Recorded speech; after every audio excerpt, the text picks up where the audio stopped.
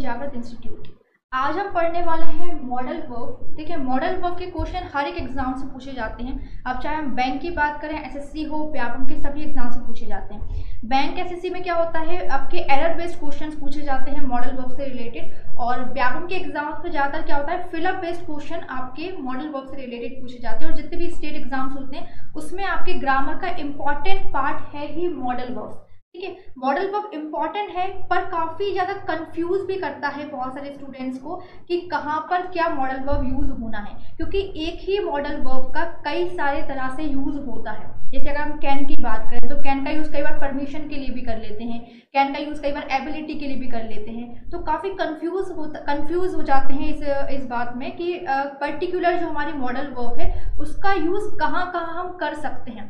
आज हम एक चार्ट देखेंगे। उस चार्ट के थ्रू आपको सारी की सारी मॉडल वर्क्स एक ही बार में याद हो जाएँगी। अगर आपने वो चार्ट अच्छे से समझ लिया, देख लिया तो आपको सारी की सारी मॉडल वर्क्स पूरी अच्छे से याद हो जाएँगी। कहाँ कहाँ उनके यूज़ होते हैं, ये आपको अच्छे से समझ में आ जाएगा।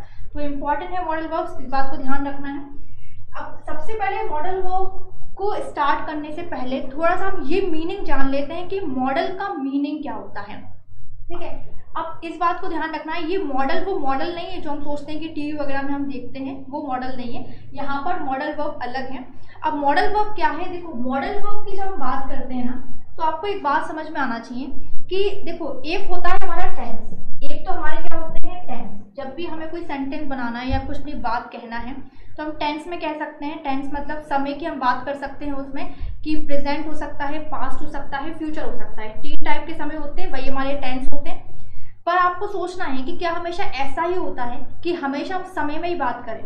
जैसे मैं पढ़ाई कर रहा हूँ, मैं पढ़ा चुका हूँ, क्या हम हमेशा यही बात करते हैं? ऐसा तो नहीं होता ना कि हमेशा हम समय की ही बात करें, हमेशा हम टाइम की ही बात करें। ऐसा पॉसिबल नहीं होता है। जब भी हम कुछ बात करते हैं तो ऐसा नहीं है कि हमेशा हम टाइम टाइम की ही बात करें। नहीं होता ऐसा। कई बार हम हमारे मन की बात भी बोलते हैं। हमारे मूड पर डिपेंड भी होता है कि हमें ये चीज़ करना है, ये नहीं कर सकते, ये हमारी इच्छा है। मतलब जहाँ पर हम अपनी इच्छा को ज़ाहिर कर सकते हैं, अपनी रिस्पॉन्सिबिलिटी को बता सकते हैं, किसी को एडवाइस दे सकते हैं। आप अगर किसी को रिस्पॉन्सिबिलिटी बता रहे हैं, किसी की, किसी को एडवाइस दे रहे हैं तो वहाँ पर तो कोई टाइम की बात होती नहीं है। तो ऐसे कुछ जहाँ पर समय की बात नहीं होती है, वो सारी की सारी वर्ब्स आपकी मॉडल वर्ब्स कहलाती हैं। मीन सिंपल बोल सकते हैं नो टाइम कोई समय नहीं, कोई भी यहाँ पर समय की बात नहीं की जाएगी। और जहाँ समय की बात की जाएगी, वो टेंस हो जाएँगे। और जहाँ समय की बात नहीं की जाएगी, वो आपका टाइम हो जाएगा।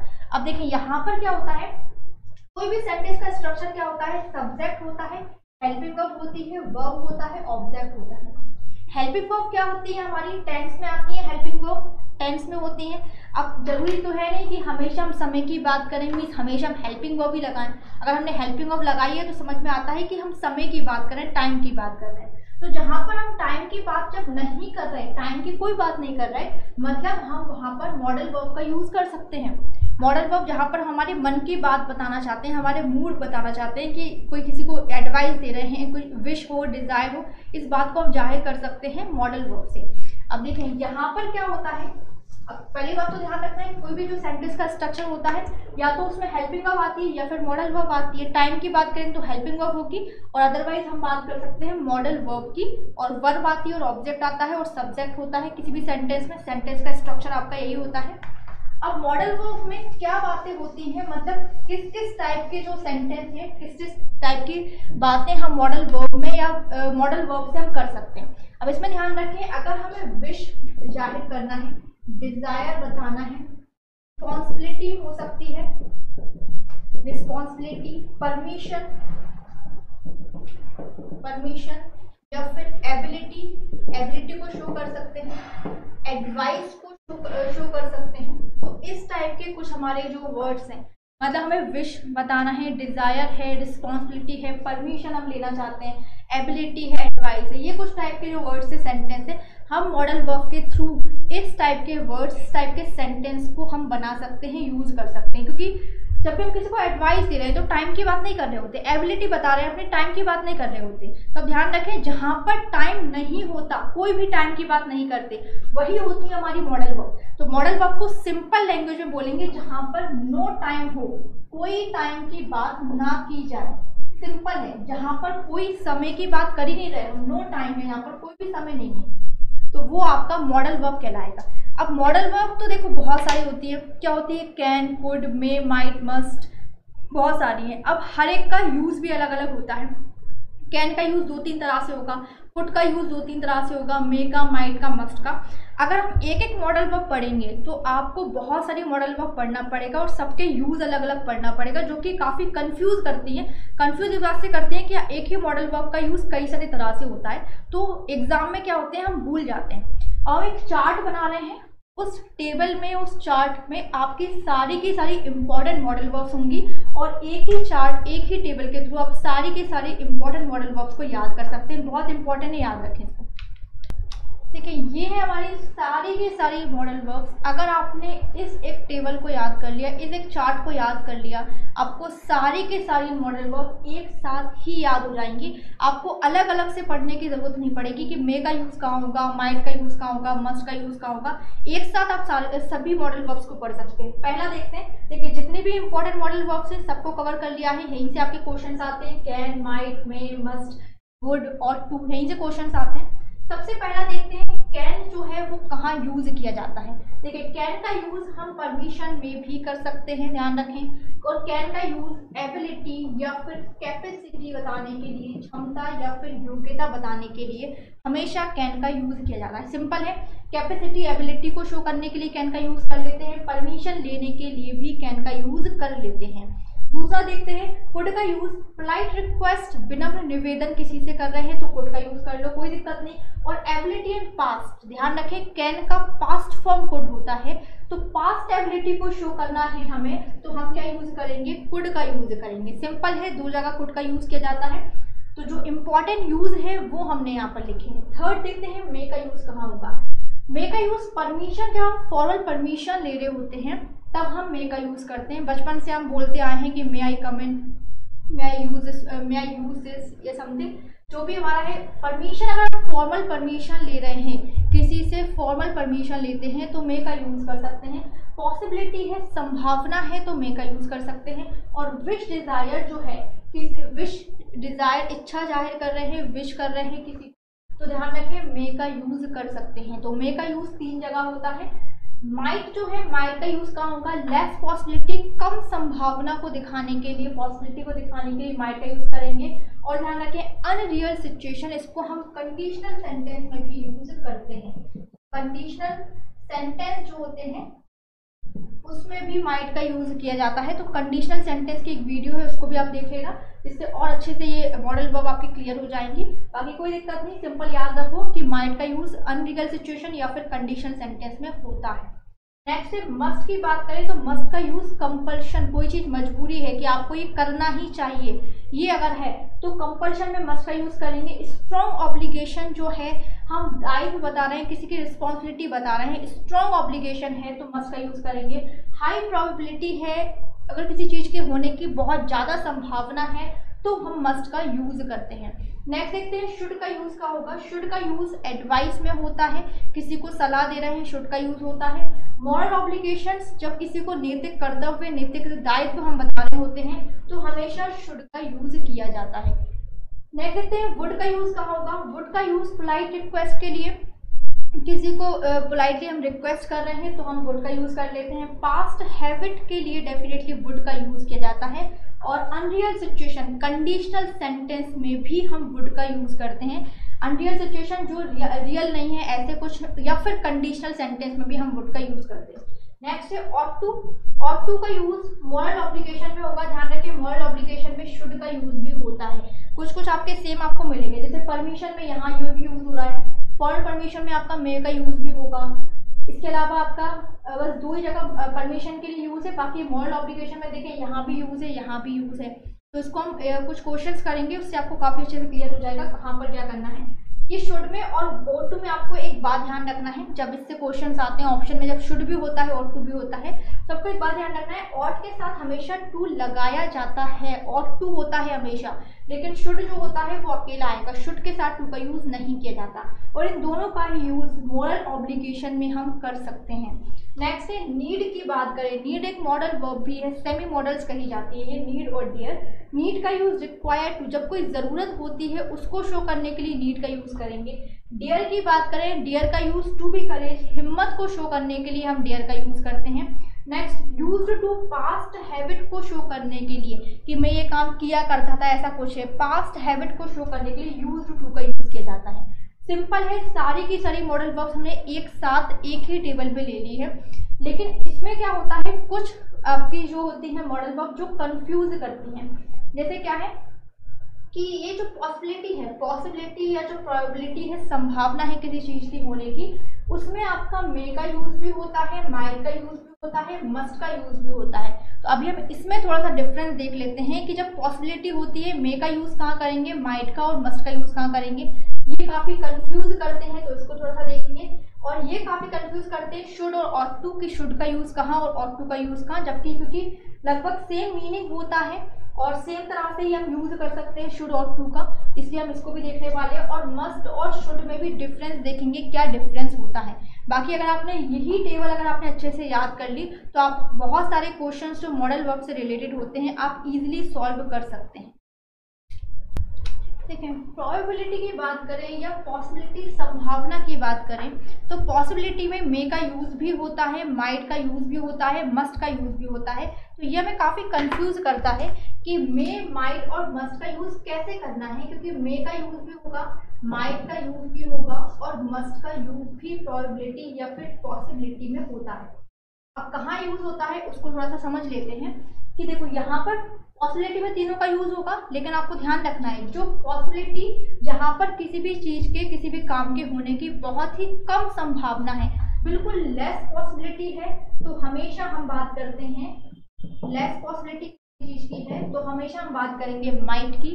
और किसी भी चीज़ की होने की संभावना है मतलब हो सकती है, नहीं हो सकती, दोनों बातें हैं। तो ये यूज़ करेंगे हम मे का और अगर किसी बात के होने की हाई पॉसिबिलिटी है, उसी किसी बात के होने की बहुत ज़्यादा संभावना है तो हम मस्ट का यूज़ करते हैं। तो सिंपल है पॉसिबिलिटी में प्रोबेबिलिटी में तीनों यूज़ होते हैं माइट में और मस्ट माइट का यूज़ बहुत ही कम संभावना के लिए मे का यूज़ पॉसिबिलिटी के लिए, और मस्ट का यूज़ हाई प्रोबेबिलिटी या हाई पॉसिबिलिटी के लिए यूज़ करते हैं। अब देखो, इसको हम इस तरीके से भी कह सकते हैं कि अगर किसी चीज़ के होने की, किसी बात के होने की ज़ीरो से ट्वेंटी फाइव परसेंट चांस है अगर किसी बात के होने की ज़ीरो से ट्वेंटी फाइव परसेंट चांस है तो आप माइट का यूज़ कर देंगे। अगर किसी बात के होने की 25 से 50 परसेंट चांस है कि होगी वही चीज़ तो आपका हो भी सकती है, नहीं हो सकती मतलब ऐसा कुछ है।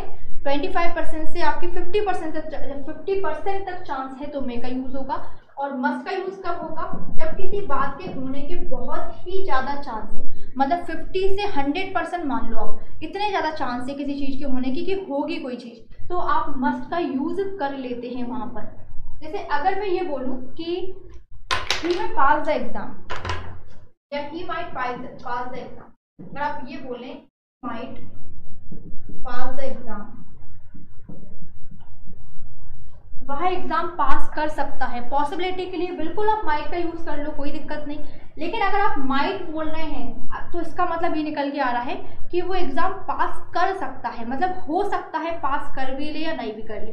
मतलब जैसे मान लो कि आप हो या आपका कोई फ्रेंड है, जिसने बिल्कुल भी पढ़ाई नहीं की, बिल्कुल पढ़ाई नहीं की तो आप अंदाज़ा लगा रहे हो, आप पॉसिबिलिटी बता रहे हो कि वो एग्ज़ाम पास कर सकता है। मतलब हो भी सकता है, नहीं भी हो सकता, दोनों चांस हैं। ज़्यादा चांस नहीं है पास होने के तो क्या है कि माइट पास द एग्ज़ाम अब अगर बात करें कि अगर हम यहीं पर इसको इस तरीके से लिखें कि मैं पास द एग्ज़ाम वह एग्ज़ाम को पास कर सकता है तो मे से ये समझ में आ रहा है कि उसके पास होने के थोड़े ज़्यादा चांस हैं. मतलब आपका कोई फ्रेंड है या आप ही हो, आपने थोड़ी बहुत पढ़ाई की है, लेकिन बहुत ज़्यादा पढ़ाई नहीं की, थोड़ी बहुत की तो उससे क्या होगा कि आप बोल सकते हैं, ही में पास द एग्ज़ाम या आई में पास द एग्ज़ाम कि वह एग्ज़ाम को पास कर सकता है चांसेस थोड़े से ज़्यादा है. और इसके अलावा अगर हम बात करें माइट की, कि माइट पास मतलब माइट का सॉरी मस्ट की बात करेंगे यहाँ पर माइट हो चुका है मस्ट की बात करेंगे कि मस्ट पास एग्ज़ाम मस्ट में आपकी आती है बहुत ही ज़्यादा श्योरिटी की बात करते हैं, बहुत ज़्यादा पॉसिबिलिटी या प्रोबेबिलिटी की बात करते हैं। हाई, जो अति संभावना है किसी बात की तो मस्ट में बताते हैं। कि ही मस्ट पास एग्ज़ाम मतलब वो एग्ज़ाम पास करेगा ही। मतलब बहुत ही ज़्यादा चांसेस हैं किसी बात के होने के। मतलब हंड्रेड परसेंट फिफ्टी से हंड्रेड परसेंट तक चांस है किसी बात के होने के। तो हम डेफिनेटली वहाँ मस्ट का यूज़ करते हैं। तो ये समझना है पॉसिबिलिटी में कहाँ पर मे का यूज़ कहाँ पर माइट का यूज़ कहाँ पर मस्ट का यूज़ किया जाता है। अब एक और कुछ कंफ्यूज करते हैं ऑट टू और शुड और आपका मस्ट भी कंफ्यूज करता है, जब हम बात करते हैं कंपल्शन वगैरह की तो उसको भी थोड़ा सा डिफरेंस उसमें देख लेते हैं। देखते हैं। ये भी काफ़ी कंफ्यूज करता है मस्ट और टू और शुड इसमें भी हमें डिफरेंस जानना बहुत ज़रूरी है। ठीक है मस्ट का मतलब ये होता है कोई चीज़ होनी चाहिए ऐसा कुछ। और ऑट टू और शुड का मतलब भी कहीं ना कहीं मीनिंग निकल के आता है चाहिए। ये हमें ये, ये काम करना चाहिए ऐसा कुछ। मतलब मॉरल ऑब्लिगेशन में ऑट टू शुड का यूज़ किया जाता है और स्ट्रॉन्ग ऑब्लिगेशन है या फिर कंपल्शन है मतलब कोई काम होना हमारी मजबूरी है, तब हम मस्ट का यूज़ करेंगे। और सिंपल मॉरल ऑब्लिगेशन है, नैतिक दायित्व, नैतिक कर्तव्य बताने के लिए हम बात करते हैं ऑट टू या फिर शुड का। अगर हम ये अगर हम ये लिखें one must love one's parents यहाँ पर अगर हम ये बोलें कि one must love one's parents प्रत्येक व्यक्ति को अपने पेरेंट्स से प्रेम करना चाहिए। अगर ये है, अगर हमने यहाँ पर मस्ट वर्ड लगा दिया तो यहाँ पर आपका है कि ये आपकी कंपल्शन है स्ट्रॉन्ग ऑब्लिगेशन है कि आपको ऐसा करना ही चाहिए। जब हम किसी बात पे ज़ोर दे रहे हैं और ये बता रहे हैं कि आपको ये काम होना ही चाहिए, ये काम करना ही चाहिए ऐसा कुछ सेंस आता है तो हमेशा मस्ट का यूज़ वहाँ पर कर सकते हैं। तो मस्ट का यूज़ अगर यहाँ पर हम करते हैं तो इसका इसका सेंस ये निकल के आ रहा है कि आपको अपने पेरेंट्स से लव करना ही चाहिए, ये आपका सेंस निकल के आ रहा है। और अगर हम ये बोले, इसी में अगर आप शुड का यूज़ कर दो, कोई दिक्कत नहीं one should love one's parents या वंस कंट्री अगर हम शुड का यूज़ करें तो शुड कहीं ना कहीं एक एडवाइस का फॉर्म होता है कि आप किसी को एडवाइस दे रहे हैं या किसी के नैतिक कर्तव्य बता रहे हैं कि आपको ऐसा करना चाहिए one should love one parents कि प्रत्येक को ऐसा करना चाहिए। मतलब वो करे या ना करे, वो उसके ऊपर है। यहाँ पर क्या होता है मॉरल ऑब्लिगेशन नैतिक कर्तव्य हम बता रहे हैं, लेकिन एडवाइस के फॉर्म में बता रहे होते हैं कि आप ऐसा करना चाहिए। आपको आप कर भी सकते हो, नहीं भी कर सकते, दोनों बातें लेकिन मस्ट में क्या होता है, आप यहाँ पर किसी बात पे ज़ोर दे रहे हैं कि आपको ऐसा करना ही चाहिए, ये चीज़ यहाँ पर जाती है। तो मस्ट में क्या होगा, यहाँ पर कंपल्शन स्ट्रॉन्ग ऑब्लिगेशन मतलब कोई चीज़ होनी चाहिए, इसका सेंस आता है। और शुड और टू में सिंपल आप कहीं ना कहीं एक एडवाइस के फॉर्म में बता रहे होते हो बातों को कि आपको ऐसा करना चाहिए, आप कर भी सकते हो, नहीं भी कर सकते, दोनों बातें होती हैं। तो ध्यान रखें, मस्ट और ओ टू में जो छोटा सा डिफरेंस है, उसको याद रखें। बाकी आप कुछ क्वेश्चंस करेंगे, जो टेबल अभी हमने बनाई थी चार्ट बनाया था मॉडल वर्क से रिलेटेड सारे के सारे क्वेश्चंस आप वहीं से ही सॉल्व कर सकते हैं। देखते हैं कुछ क्वेश्चन मॉडल वर्क के जो एग्ज़ाम से पूछे जाते हैं। देखिए, ये कुछ क्वेश्चंस हैं, इस टाइप के क्वेश्चन मॉडल वर्क से रिलेटेड पूछे जाते हैं। फ़र्स्ट सेंटेंस देखें डैश यू लिव लॉन्ग अब जो टेबल हमने बनाई थी ना, उसी से रिलेटेड सारे के सारे क्वेश्चन हैं, उससे ही आपका सारा का सारा मॉडल वर्क कवर हो जाता है। देखिए फ़र्स्ट वर्ड है फ़र्स्ट सेंटेंस है हमारा यू मे लिव लॉन्ग अब यहाँ पर आपको देखना है, जब भी लास्ट में ये एक्सक्लेमेशन साइन आपको दिख जाए, या फिर आप सिंपल ध्यान रखें, जब भी हम विश या डिज़ायर जब बता रहे होते हैं, इच्छा, कामना ज़ाहिर कर रहे होते हैं तो हमेशा मे का यूज़ करते हैं राइट तो might you live long may you live long must you live long should you live long नहीं, जब सिंपल हम विश या डिज़ायर बता रहे होते हैं तो हमेशा मे का यूज़ किया जाता है तो सिंपल था। विश डिज़ायर को शो करने के लिए मे का यूज़ किया जाता है। अब अगर वो आपने टेबल याद कर ली अच्छे से तो सारे के सारे आपको पॉइंट क्लियर हो जाएँगे माइंड में कि कहाँ कहाँ पर्टिकुलर मॉडल वर्ब का यूज़ किया जाता है। तो इस सेंटेंस को पढ़ के हमें समझना पड़ेगा कि सेंटेंस में क्या सेंस निकल रहा है। विश डिज़ायर बोल रहे हैं एडवाइस का फॉर्म है परमिशन है, क्या वर्ड है सेंटेंस को पढ़ के हमें समझ में आएगा।